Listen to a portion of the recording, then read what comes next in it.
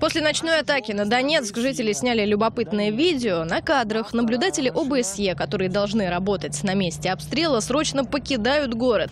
Один из автомобилей едет с прицепом, в который погружены вещи. При этом машины международной миссии так спешили уехать, что всячески нарушали правила дорожного движения. Едва не устроили крупное ДТП. Наша доблестная ОБСЕ. Донецкие. Одна, вторая машина. А вот, смотрите, третья. Где? Где? А, вон. С прицепом, с вещами. Чтоб быстрее домой пропасть стреляют. Они, конечно, не стреляют. А почему ж мы туда уезжаем? Товарищи ОБСЕ. Тут очень И один, и один быстрее другого, что самое интересное. Вы куда, господа? Вы куда, господа?